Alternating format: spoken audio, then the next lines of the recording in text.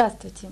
Сегодня в программе «Разговор за чашкой чая» мне хотелось бы поговорить с вами о музыке, а точнее об эстрадной музыке. Мне кажется, мы очень давно не касались этой темы. В последнее время наши дома посредством теле- и радиоаппаратуры буквально заполнены веселыми и грустными, великолепными и, к сожалению, низкосортными эстрадными произведениями. И очень часто наступает такой момент, когда все это изрядно надоедает – и мы, как живительного глотка воздуха, ждем принципиально новых песен, оригинальных исполнителей, ну, в общем, новых имен. Но все новое тоже не всегда воспринимается успешно. Очень часто нужно время для того, чтобы прислушаться, понять и достойно оценить того или иного певца. Возможно, это происходит от того, что молодые довольно-таки редко появляются на наших экранах. У них недостаточно средств для саморекламы, да и современные продюсеры и менеджеры не с особым удовольствием берутся за новые имена. Но тем не менее, несмотря ни на что, молодые исполнители все увереннее пробивают себе дорогу к славе. И сегодня мне хотелось бы познакомить вас с начинающей певицей из нашего города, выпускницей музыкального факультета педагогического института Анжелой Болговой.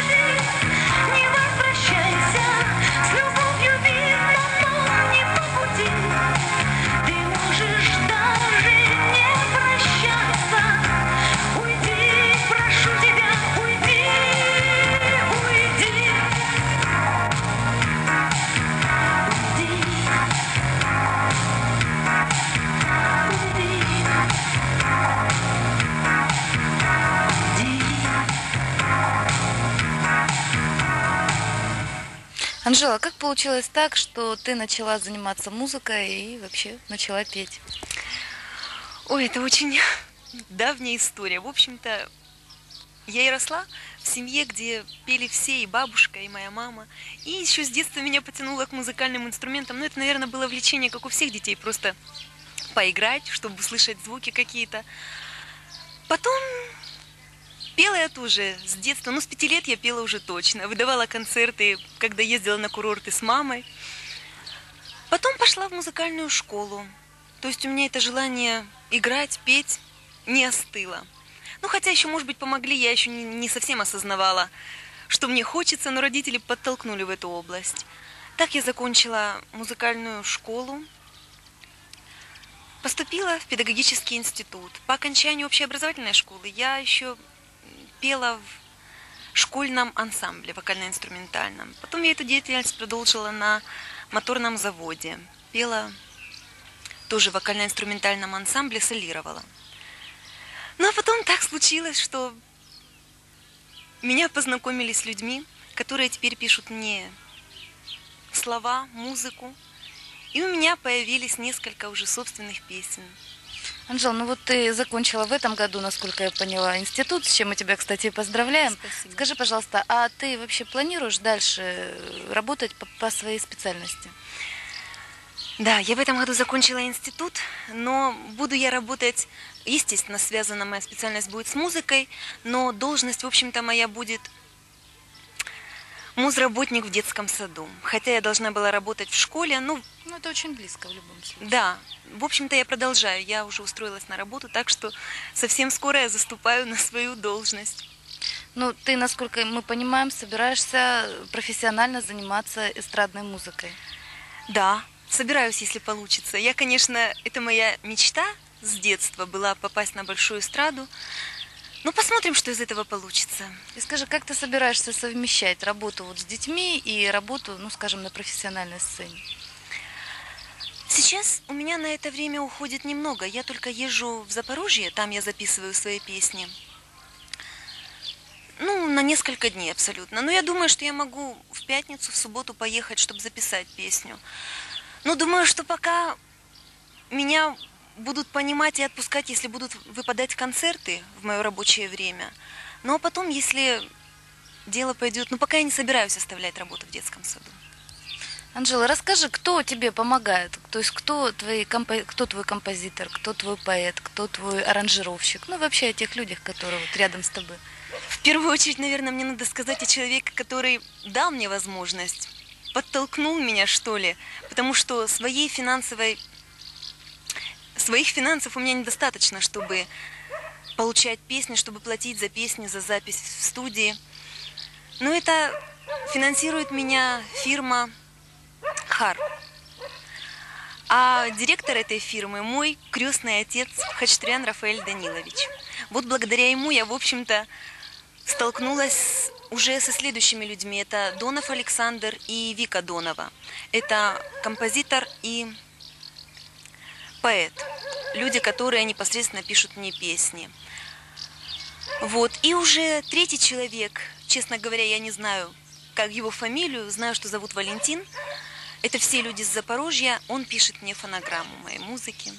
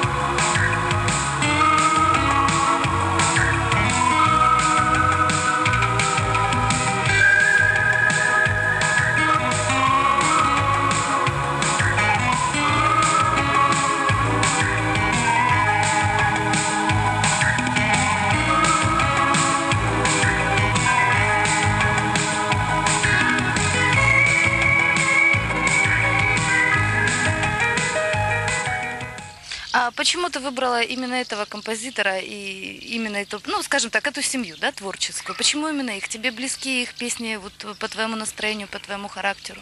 Дело в том, что мне выбирать было, в общем-то, не из кого. Но пока что эти люди мне подходят. Да, действительно, и музыка меня устраивает, и слова, они близки моей душе, находят в ней отклик.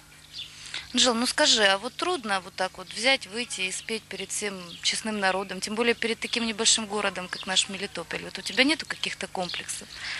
Вы знаете, у меня один комплекс – это забыть слова, это моя слабость. Хотя я хорошо, у меня развита память, но и тем не менее у меня просто волнение переключается на то, что я не боюсь там эмоционального какого-то срыва, или я боюсь народ, нет, этой боязни у меня нет. Но вот у меня вот боюсь я забыть слова. Иногда даже бывали у меня такие срывы, что я могла переставить местами куплеты. Ну вот так вот. А вообще-то публика меня принимает довольно-таки хорошо. Я нахожу в ней поддержку, поэтому мне не страшно. Скажи, а вот как проходит сам процесс записи песни? Ну, в частности, записи клипа? Значит, песню я... Сначала мне записывают, когда мне делают фонограмму, Тут же мне переносят на мою кассету просто музыку, под которую я, если захочу, я смогу на концерте, то есть это называется «Я буду петь живьем». Но еще у меня, я делаю также фонограмму. Ну, допустим, я там по состоянию здоровья не могу петь голосом, то есть вживую. Вот, как проходит эта запись? Вы знаете, у меня она проходит довольно-таки без осложнений. Когда я прихожу на студию звукозаписи, сначала мы один раз делаем пробную, то есть я в наушниках сбалансирую звучание, аккомпанементы моего голоса, и второй раз я уже записываю на чистоту, и мне говорят, что да, запись произведена. Клип пока что у меня один. Снимали его Александр Колчинский. Ну, это записано, кто видел клип. Вот. Как происходила запись? Ну, в общем-то, мы записывали, естественно, отрывками, кое-где, чтобы там не получилось, может быть, там, чтобы четче показать мое лицо или еще какую-то деталь. Происходила эта запись в Red Баре. Конечно, для меня это было немножко, я дрожала перед камерой. Все-таки впервые на меня, на мое лицо была наведена камера. Я так перед камерой я сидела впервые. Это для меня было ново. Но, тем не менее, вроде бы все прошло неплохо.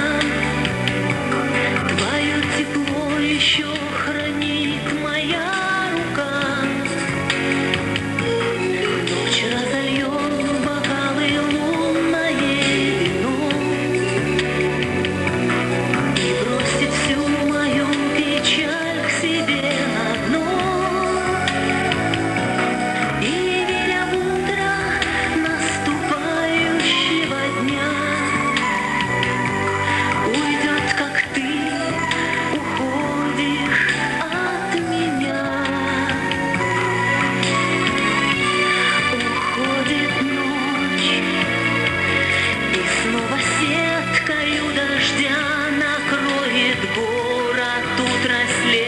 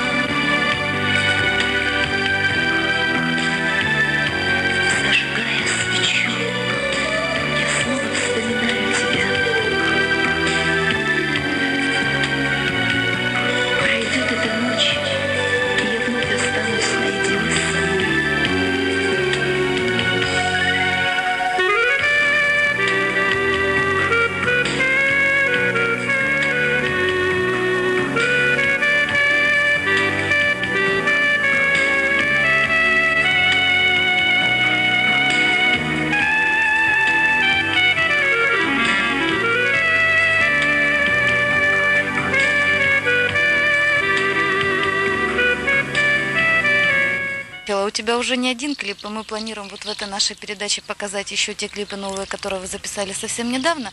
И вот мне хотелось бы задать тебе такой вопрос. Тебе приходилось э, двигаться, вот э, там, может быть, танцевать, может быть, как-то ходить. Вот э, как ты бы хотела приобрести навыки, ну, скажем, научиться правильно себя вести на сцене, вот где-то вот, ну, скажем, подучиться вот именно в этом плане, чтобы можно было хорошо, профессионально выглядеть уже при да. своей дальнейшей деятельности. Я поняла вопрос. Конечно, это мне говорит, я согласна с вами, мне этого не достает. Я вообще хотела бы поучиться и актерскому мастерству, то есть находиться перед камерой это тоже очень сложно. Знать, в какой момент не повернуть голову, в какой момент не улыбнуться, это все, в принципе, надо учиться актерскому мастерству. Да и двигаться на сцене я тоже бы не считала это лишним мне поучиться, потому что одно дело переживать душой, а другое дело все-таки это песню передавать в движениях. Это совершенно разные вещи, и я бы хотела, чтобы у меня был человек, который непосредственно проникал в душу этой песни и помог бы мне подобрать нужные движения, как бы мне находиться на сцене, как пойти, потому что, в общем-то, человека, который пока сейчас мне помог, такого человека нет. А я То бы очень ты хотела. сама да, практически во всех амплуа. да, да. Скажи, вот ты училась, когда э, в пединституте, там я знаю, что преподают вокал. Вот тебе дали что-нибудь уроки вокала, которые вот именно в том ракурсе, в котором преподавалось э, в институте, для того, чтобы сейчас это тебе как-то помогло вот, в нынешней деятельности? Вы знаете, мне попались очень хорошие педагоги вокала. Я им благодарна.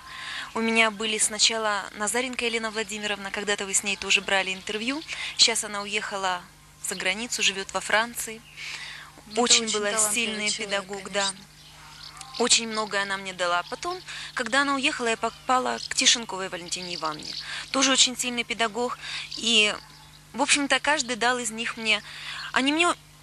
Ну, в общем, я не хочу сказать, что годы моей учебы в институте прошли бесследно. То есть я ничего там не получила. Нет, я очень много, как раз вот вокал я научилась. Но моя педагог Назаренко Елена Владимировна, она говорила, что нет, Анжела связана у нас больше с эстрадой, ей в консерваторию для оперного Классического пения, вокала, классического пения ехать. Не то, что я не могу, нет, у меня, в общем-то, были данные, есть, вернее.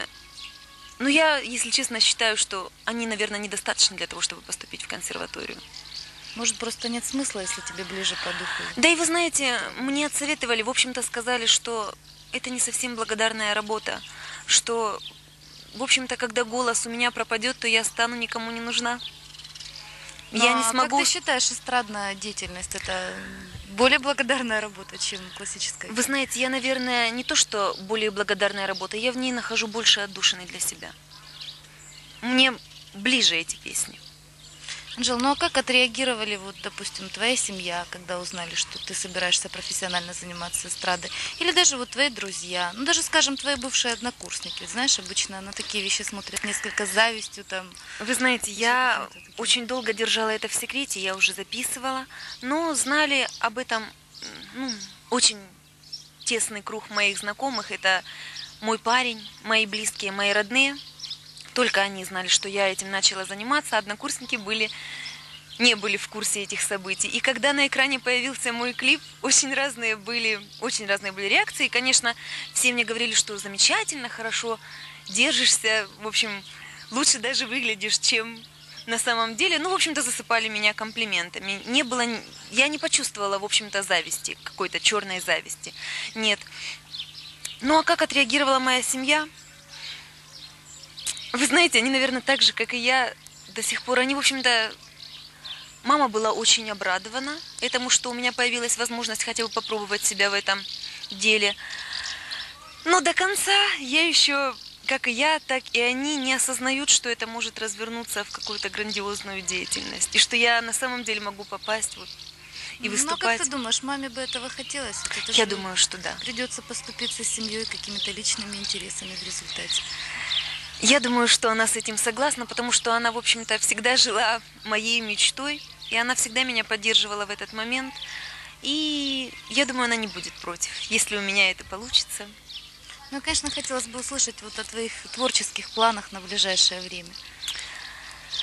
На ближайшее время. Но сейчас у меня уже есть в записи четыре песни. Сейчас я еще готовлю четыре, ой, две песни. Пока что идет. Готовится фонограмма. Ну и потом будет производиться запись. Думаю, что также будем работать над следующими клипами. Вот. И, возможно, в скором времени состоятся уже небольшие гастроли, может быть, в Западную Украину. Ну, может быть, ближайшие это, возможно, произойдет концерт даже у нас в городе Мелитополе, в Запорожье. Вот такие вот, Но это будут твои первые концерты. да, связанные с Еще ни этими песнями. Я еще ни разу не выступала. Так, чтобы выходить на публику. С этими песнями я еще на публику не выходила. А вообще-то, ну, выходила я, подражая Вообще-то моим идеалам мне очень нравится. Не то, что моим идеалам, но мне нравится, как держится эта женщина на сцене. Эта певица, это Ирина Аллегрова. Очень нравится ее голос. Многие даже говорят, что улавливаются некоторые интонации ее в моем исполнении. Хотя мне, я сама это понимаю, да и мне говорят, что надо именно искать себя, непосредственно свою индивидуальность, свое самовыражение на сцене. Но я думаю, что каждый, акти- м, каждый артист, выходя на сцену, он все равно подражает какому-то своему кумиру. А потом со временем, возможно, находят свои неповторимые нотки в исполнении. В исполнении вообще в поведении на сцене. Анжел, ну то какая у тебя на сегодняшний день самая заветная мечта, связанная с творчеством? А может быть и не только. Лучше, наверное, связанная с творчеством. Связанная с творчеством, я хочу, чтобы меня народ полюбил, наверное, в первую очередь полюбил народ города Мелитополя, потому что надо начинать все-таки со своего родного города. А потом я бы хотела, чтобы меня потихоньку, конечно, узнавали жители Украины. Но если получится, то и вообще бывшего союза, да, бывшего Советского Союза, да.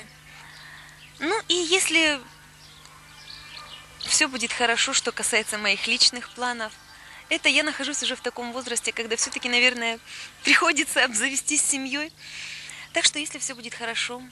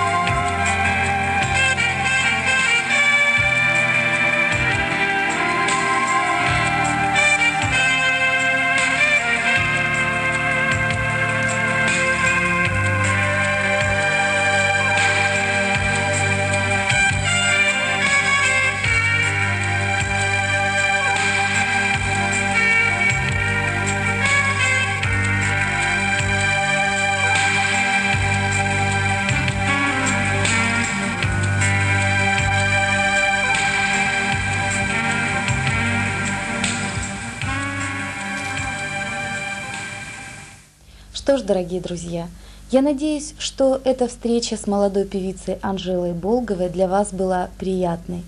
Мне бы очень хотелось, чтобы эта начинающая исполнительница не останавливалась на достигнутом и в дальнейшем радовала нас приятной музыкой.